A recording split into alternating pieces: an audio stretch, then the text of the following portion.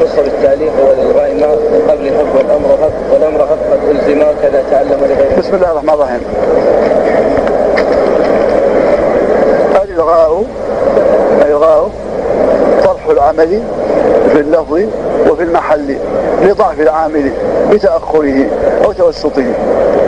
فتقول زيد عاقل ظننت زيد عاقل مبتدأ وخبر وظننت فعل. وفاعل والغي العامل لتأخره ضعف تأخر ضعف. وتقول نعم. وتقول زيد ظننت عالم. زيد مبتدا وعالم خبره. أرأيت العامل؟ ضعف بتوسطه. هذا الإلغاء. والإلغاء إذا كان العامل متقدما إلغاؤه ضعيف جدا. أن تقول ومنت زيد عالم هذا ضعيف جدا. وجائز عند الكوفية؟ مبتدا وخبر. وظنية تقول ظننت الفاعل لا بد منه الفاعل عمدة لا بد منه. والمفعول فضل وإن كان في هذا الباب المفعول به كأنه عمدة لا يحذف إلا لدليل أما التعليق فهو بقاء العمل في اللفظ بقاء العمل في المحل وطرحه في اللفظ لوجود ما له صدر الكلام. فيكون الفعل عاملا لا عاملا. عاملا لا عاملا في المحل غير عامل في اللفظ والتعليق مقتض واجب. وإلغاء مجوز. كل ما ألغي يجوز فيه الإعمال. والتعليق واجب إذا وجد موجبه. والمعلقات ستة. سورة الكتاب. قال وخص بالتعليق والغاء ما من قبلها. وهي الأدوات من قوله انصب بفعل القلب جزء ابتداء عن رأى خلع علمت وجد ومن حسبت وزعمت ما أحد حجادر وجعل تقد عليه هذه يأتي الإلغاء والتعليق والأمر هب قد الزم هب ملازمة للأمر لا تصرفوا تقول هب زيدا عالما. وقلت أجرني أبا مالك وإلا فهبني امرأ هالكا كذا تعلم تعلم كذلك جامد لا يتمها مضارع ولا ماض تعلم علم قال تعلموا أن ربكم ليس بأعور والدجال أعور عين اليمنى. ولغير الماضي من سواه مجعل كل ما له ذكر هذان فعلان ملازمان لصيغة الأمر. غيرهما من أفعال الباب التي ذكرت يعمل منها يعمل منها الماضي والمضارع والأمر واسم الفاعل والمصدر وإن كان ابن مالك ذكرها كلها بصيغة الماضي ليس العمل مقصورا على الماضي.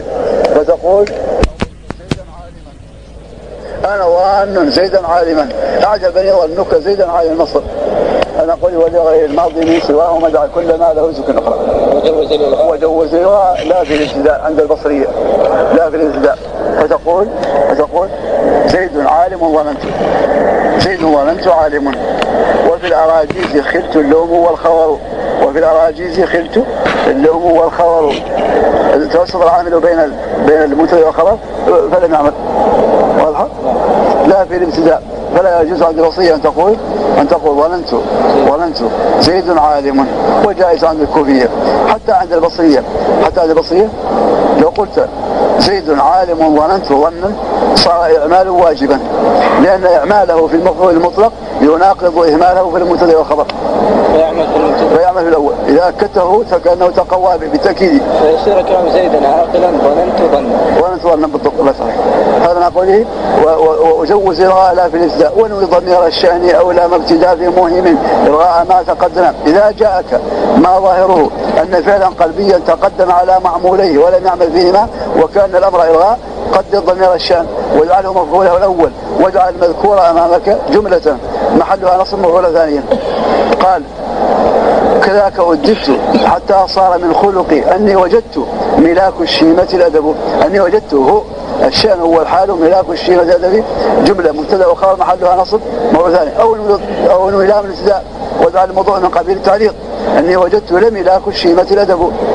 طيب إذا علق يا شيخ كيف يكون مبتدأ وخبر؟ مبتدأ وخبر منصوب محل وخبر منصوب محلها نصب.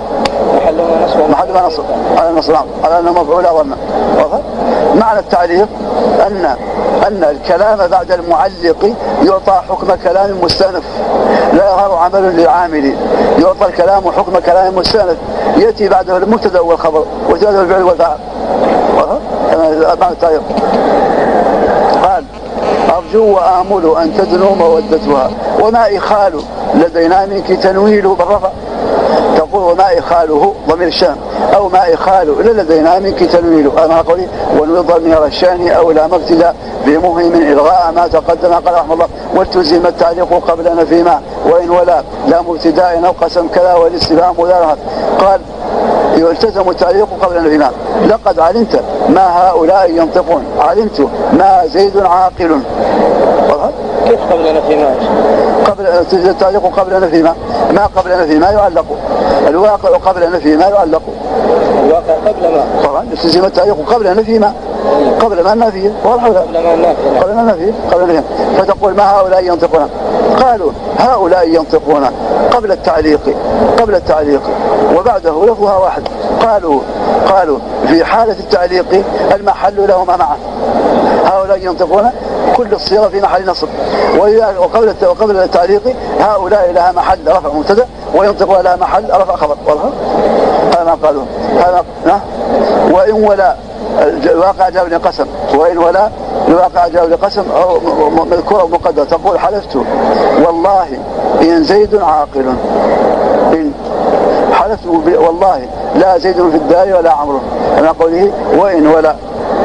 ثم قال رحمه الله لا مبتداء أو قسم كذا. لا مبتداء مبتدأ. وقسم معطوف. وكذا محله رفع خبر. مبتدا قال ولقد علموا لمن اشتريه ما له في الآخرة من خلاق. أعطي الكلام بعد المعلق حكم كلام مستأنف. من اشتريه ما له في الآخرة من خلاق. جملة مستأنفة كاملة. من مبتدا واشتريه اسم فعل الشرط. مبني في محل جزم. وجملة ما له في الآخرة من خلاق. جملة سدة مسد مسد جواب الشرط. أنا قوله ولا أو قسم. ولقد علمت لتأتين منيتي. إن المنايا لا تطيش سهامها هذا ما قوله. والاستفهام مثله.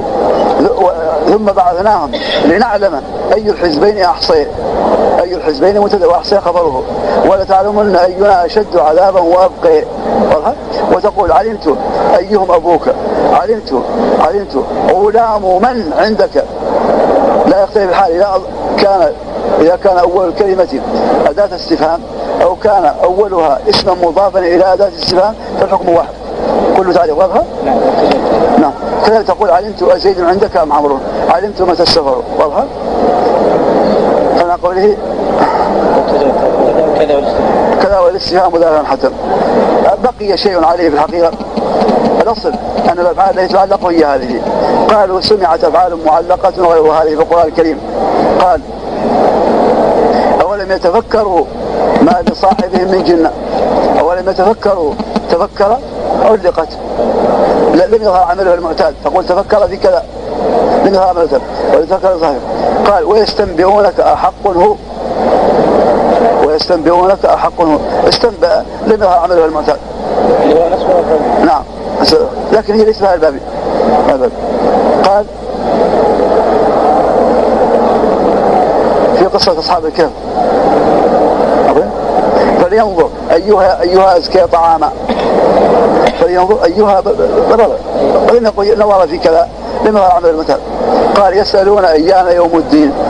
يسألون أيان يوم الدين. فستبصر ويبصرون بأيكم مفتون. هذه خمسة أفعال سمعت معلقة واسمها البابي ترك ابن مالك رحمه الله تعالى بعض المعلقات. من ذلك لعل. وإن ندري لعله فتنة لكم ومتاع إلى حين. لعل علقت درى لم يظهر لها عمل. وقد علم الأقوام لو أن حاتما أراد ثراء المال كان له ذكر. لو علقت. والله أعلم. الله عليه